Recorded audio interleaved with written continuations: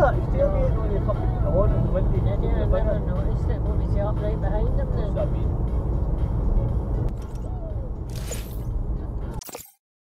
mean.